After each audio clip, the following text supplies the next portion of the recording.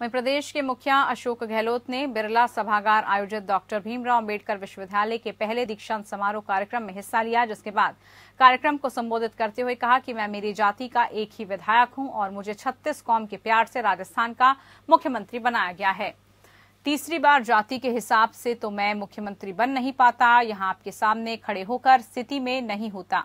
राजनीति में जात पात नहीं होना चाहिए। आगे उन्होंने कहा कि ये सपना दस साल पहले देखा था, जिसे पूरा किया गया, लेकिन बीजेपी ने सत्ता में आने के साथ ही पत्रकारिता विश्वविद्यालय और लॉ विश्वविद्यालय को बंद करने का फैसला किया था, लेकिन फैसले से दुख हुआ, क्योंकि आज तक भारत में कोई भी यूनिवर्सिटी शुरू हुई और वो बंद कर दी गई ऐसा नहीं देखने को मिला था।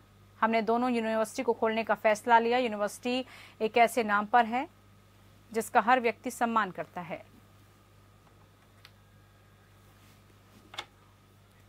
विजय दिवस के मौके पर राजस्थान के मुख्यमंत्री अशोक गहलोत ने कहा कि पूर्व प्रधानमंत्री इंदिरा गांधी एक महान नेता थी। उनका दृढ़ निश्चय था और सेनाओं का पराक्रम ही था कि उस समय इतना बड़ा फैसला लिया। अमेरिका ने भी हिंदुस्तान को धमकी दी, लेकिन इंदिरा गांधी ने इसकी परवाह नहीं की थी। मुख्यमंत्री अशोक गहलोत ने अपने संबोधन में कहा कि कारगिल युद्ध के बाद हमने सहायता राशि बढ़ाई। सहायता राशि से भरपाई नहीं की जाती, लेकिन हमने सम्मान स्वरूप पैकेज तय किया। नियमों में हम बदलाव कर रहे हैं। शहीदों के परिजनों को भी नौकरी दी जाएगी। नवासा नवासी भी नौकरी के पात्र होंगे। इंदिरा गांधी देश के लिए शहीद हो गई, लेकिन खालिस्तान नहीं बनने दिया। उनमें जज्बा था, देश को अखंड रखेंगे, चाहे जान चली जाए। सीएम गहलोत ने कहा कि पाकिस्तान जब बना, वो धर्म के नाम पर बना था, फिर भी वो एक नहीं रह पाया, दो टुकड़ों में विभाजित हो गया। इसका मतलब धर्म के नाम पर देश बनाना तो हो सकता है, लेकिन देश बन जाए, कायम रहे, ऐसा नहीं हो सकता। ये उदाहरण पाकिस्तान का है। पूर्वी पाकिस्तान और पश्चिमी पाकिस्तान था, आज वो पूर्वी पाकिस्तान बांग्लादेश बन गया है। इधर बूस्टर डोज को लेकर प्रधानमंत्री को लिखे गए पत्र पर सीएम गहलोत ने कहा कि उनका अभी तक कोई जवाब नहीं आया है। प्रधानमंत्री जी को चाहिए कि कम से कम मुख्यमंत्री कोई पत्र लिखे तो उसका जवाब आना चाहिए। वो जवाब देते नहीं है। और मैंने बूस्टर डोज के लिए सबसे पहले आवाज़ उठाई है। देश के अंदर की बूस्टर डोज का टाइम आ गया है। नौ महीने हो गए हैं, साल भर हो गए हैं फ़र्स्ट डोज लगे। जितने आर्टिकल आ रहे हैं, देश के अंदर आप अगर पढ़ेंगे तो पाएँगे कि दुनिया भर के मुल्कों के अंदर कई जगह पर बूस्टर डोज शुरू हो चुकी है। आज़ाद हुआ। उसमें करीब एक करोड़ शरणार्थी आ गए थे हमारे मुल्क की धरती पर। तो बचपन में मुझे भी उनके बीच में जाने का सौभाग्य मिला, उनकी सेवा करने का सौभाग्य मिला, शरणार्थियों की। इसलिए मेरे लिए तो ये आज का दिवस बहुत विशेष महत्व रखता है। मैंने देखा सीमाओं पर क्या हो रहा था उस वक्त में। मैं सीमाओं पर भी गया था, हमारे बीएसएफ के जवानों के साथ में।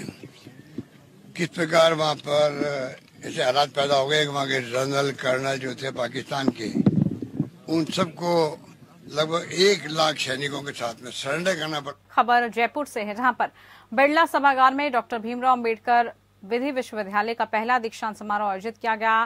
कार्यक्रम में राज्यपाल और कुलदापति भी पहुँचे। इधर इसके बाद राज्यपाल कलराज मिश्र ने कहा कि हम सबसे पहले भारतीय हैं, सबसे पहले हमारा संविधान है और उसके बाद हमारी कोई व्यक्तिगत पहचान है। ये बात हम सभी को याद रखनी चाहिए। बता दें कि राज्यपाल ने बिरला सभागार में डॉक्टर भीमराव अंबेडकर विश्वविद्यालय के पहले दीक्षांत समारोह के मौके पर कार्यक्रम को संबोधित किया और कहा कि साहिब डॉक्टर अंबेडकर सांस्कृतिक राष्ट्रवाद के सच्चे पोषक थे।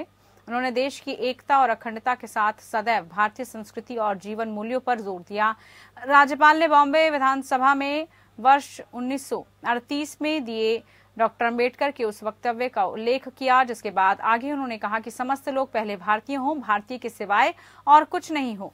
कानून की शिक्षा पूरी तरह से समाज से सीधे तौर पर जुड़ी शिक्षा है।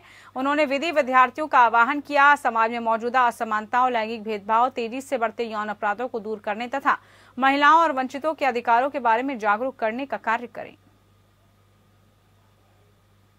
डॉक्टर भीमराव अंबेडकर विश्वविद्यालय के इस प्रथम दीक्षांत समारोह में उपस्थित प्रदेश के यशस्वी मुख्यमंत्री माननीय श्री अशोक गहलोत जी मैं इस पर्व पर डिग्री प्राप्त करने वाले सभी विद्यार्थियों को बधाई देते हुए उनके उज्जवल भविष्य की कामना करता हूँ। चाहता हूँ, जो शिक्षा आपने विश्वविद्यालय में प्राप्त की है, उसका समुचित उपयोग राष्ट्र और समाज के उन्नत में आप करें। इधर जयपुर को दौरे पर पहुँचे बीजेपी के प्रदेश अध्यक्ष डॉक्टर सतीश, जहाँ पर उन्होंने कांग्रेस पर जमकर निशाना साधा। बताया जा रहा है कि यहाँ पर उन्होंने महँगाई और बेरोजगारी को आड़े हाथ लेते हुए कहा कि महँगाई रैली में बेटा बेटी माँ कंपनी बनकर गई। प्रियंका ने यूपी में नौटंकी की, लेकिन राजस्थान में दलित परिवार से मिलने नहीं आई। आगे उन्होंने कहा कि प्रदेश की सरकार के तीन साल का मतलब किसानों और युवाओं से झूठे वादे, जिसके बाद उन्होंने बेरोजगारी को आड़े हाथ लेते हुए कहा कि लाखों लंबित भर्तियों से युवा कड़ाके की ठंड में आंदोलन करने को मजबूर है। प्रदेश में 27 प्रतिशत बेरोजगारी दर है, जो देश में सबसे अधिक है। राजस्थान में सबसे महँगा डीजल, पेट्रोल और सबसे महँगे खाद्य पदार्थ प्रदेश के 60 लाख किसान संपूर्ण कर्ज माफ़ी का वादा पूरा होने के तीन साल से इंतज़ार कर रहे हैं। जिसको लेकर कांग्रेस ने अपने 2018 के जन घोषणा पत्र और उसी दौरान राहुल गांधी ने जालौर की जनसभा में दस्तक गिनती गिनकर वादा पूरा करने की घोषणा की, जो किसानों के साथ बड़ा छलावा है।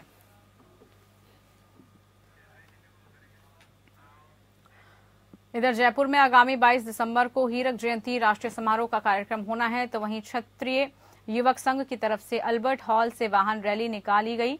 संघ द्वारा समारोह को सफल बनाने के लिए अनेक आयोजन किए जा रहे हैं और ऐसे में बैठकों का दौर लगातार जारी है।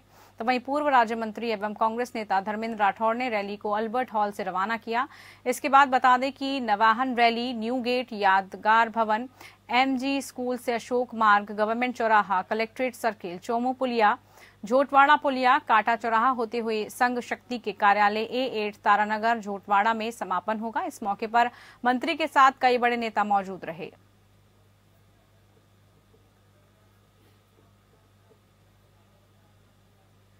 जो 22 तारीख को होने जा रही है, उसकी पूर्व यानी तैयारी में आज वाहन रैली निकाली जा रही है। श्री क्षत्रिय युवक संघ एक ऐसी संस्था है जो क्षत्रिय समाज में संस्कारों का निर्माण के लिए पिछले लंबे समय से, यानी पचहत्तर वर्ष से ये काम कर रहे हैं। हम इस ऐसे पुनीत कार्य में हम बधाई देते हैं, शुभकामनाएँ देते हैं, और समाज बंधुओं को अपील करते हैं कि इसमें ज़्यादा से ज़्यादा लोग भागीदार बने, ज़्यादा से ज़्यादा लोग शरीक हों, और अपने इस संगठन को, अपने इस श्री क्षत्रिय संघ को मजबूती प्रदान करें ताकि इधर झुंझुनू का एक जवान देश के लिए शहीद हो गया। बता दें कि जवान उड़ीसा के कोरापुट लक्ष्मीपुर में नक्सल विरोधी अभियान के दौरान ड्यूटी पर देश की सेवा करते हुए शहीद हो गया। जिसके बाद जब जवान का पार्थिव शरीर घर पहुँचा तो परिजनों में कोहराम मच गया। शहीद जवान उनके गाँव में राजकीय सम्मान के साथ अंत्येष्टि की गई। बीएसएफ की बटालियन ने उन्हें गार्ड ऑफ़ ऑनर दिया। इधर शहीद के जयकारे लगाते रहे। इस मौके पर पूर्व मंत्री यूनिस खान ने भी शहीद सज्जन सिंह को श्रद्धांजलि दी और कहा कि दो दिन पहले झुंझुनू का एक लाल शहीद हुआ। आज फिर झुंझुनू की मिट्टी ने अपने बेटे की शहादत दी। झुंझुनू शहीद और सैनिकों का जिला है। यहाँ के बेटे देश सेवा के लिए तैयार रहते हैं।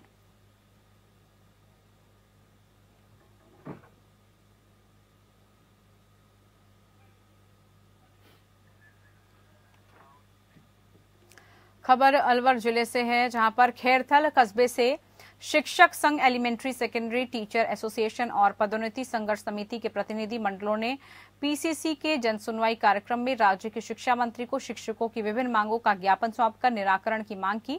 जिसके बाद ब्लॉक किशनगढ़ बास के मीडिया प्रभारी और प्रवक्ता राजीव चौधरी ने बताया कि ज्ञापन में नए शैक्षणिक सेवा नियम 2021 से पूर्व अन्य विषयों में पीजी कर चुके शिक्षकों को पदोन्नति में शामिल करने जैसी कई मांगे की गई हैं। इस मौके पर एसोसिएशन के कई लोग भी मौजूद रहे। बताते हुए बड़ी प्रसन्नता हो रही है कि हमारे शिक्षक संघ, एलिमेंट्री सेकेंडरी टीचर एसोसिएशन और पदोन्नति संघर्ष समिति के प्रतिनिधिमंडल ने राज्य में जयपुर में पीसीसी के जन सुनवाई कार्यक्रम में माननीय शिक्षा मंत्री बी डी कल्ला और प्रदेश कांग्रेस कमेटी के सचिव देशराजी मीना को शिक्षकों की विभिन्न मांगों के लिए ज्ञापन सौंपा और हमारी सभी मांगों को शिक्षा मंत्री और प्रदेश कांग्रेस कमेटी के सचिव देशराज मीना जी ने ध्यानपूर्वक सुना और शीघ्र ही समाधान के लिए और निराकरण का आश्वासन दिया। वहीं राजस्थान में कोरोना के पिछले 24 घंटों में 26 नए केस मिले हैं। सबसे ज़्यादा जयपुर में 11 मरीज़ मिले हैं, जबकि जयपुर के अलावा भीलवाड़ा, बाड़मेर, अजमेर, जोधपुर और उदयपुर में भी केस मिले हैं। राज्य में पिछले 16 दिनों की रिपोर्ट देखें तो पूरे प्रदेश में तीन सौ अट्ठासी मरीज़ अब तक मिल चुके हैं। जो पिछले महीने नवंबर में मिले केसों से ज़्यादा है। वहीं नए केसों की स्थिति देखी जाए तो नवंबर के मुकाबले दो गुना तेज़ी से केसेस बढ़ रहे हैं। मेडिकल हेल्थ डिपार्टमेंट की रिपोर्ट के मुताबिक आज जयपुर के अलावा जोधपुर में छह, बाड़मेर में तीन, अजमेर, भीलवाड़ा और उदयपुर में दो दो मरीज़ मिले हैं। राज्य में आज कुल 19 मरीज़ रिकवर हुए हैं, जिसके बाद एक्टिव केसों की संख्या बढ़कर दो सौ सड़सठ हो गई है। पूरे प्रदेश में अब तक की स्थिति देखें तो नौ लाख पचपन हज़ार एक सौ तिहत्तर लोग अब तक संक्रमित हो चुके हैं, जबकि नौ लाख पैतालीस हज़ार मरीज़ इस बीमारी से रिकवर हो चुके हैं। वहीं आठ हज़ार नौ सौ उनसठ मरीज़ इस बीमारी से मर चुके हैं। राज्य में दिसंबर के अंदर कोरोना की रफ्तार तेज हो रही है। नवंबर में 30 दिन के अंदर जो तीन सौ पैंसठ केस मिले थे और औसतन हर रोज 12 केस आ रहे थे। दिसंबर में इतने केस केवल शुरुआती 15 दिन में आ गए हैं। इस महीने हर रोज औसतन 12 मरीज़ मिल रहे हैं। वहीं अक्टूबर में औसत मरीजों की संख्या तीन मरीज़ हर रोज थी। शाहजहापुरा के निकट बाथरू थाना इलाके के हाईवे स्थित टांडा पुलिया के पास ड्यूटी पर तैनात एक यातायात पुलिस कांस्टेबल को तेज रफ्तार कार ने टक्कर मार दी। हादसे में कांस्टेबल की मौत हो गई। मृतक कांस्टेबल वीरेंद्र जाट श्रीमाधोपुर इलाके के झरी कई ढाणी का रहने वाला था। इंस्पेक्टर में तैनात था। टक्कर मारने के बाद कार चालक वहाँ से फरार हो गया, जिसे विराटनगर इलाके बिलवाड़ी पुलिस चौकी पर पुलिस ने नाकाबंदी करके पकड़ लिया। जानकारी के मुताबिक कांस्टेबल वीरेंद्र जाट हाईवे स्थित टांडा पुलिस के पास इंटरसेप्टर में तैनात टीम के साथ ड्यूटी कर रहा था। इस दौरान ओवर स्पीड में आ रहे वाहनों के चालान काटे जा रहे थे। इस दौरान तेज गति से आ रही एक कार लापरवाही पूर्वक तरीके से कांस्टेबल को टक्कर मारकर उछाल गई। मौके पर मौजूद पुलिस कर्मियों ने उसे निजी अस्पताल में पहुँचाया, लेकिन वहाँ उसकी मौत हो गई।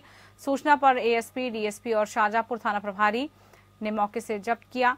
पुलिस ने शव का पोस्टमार्टम कराकर परिजनों को सौंपा।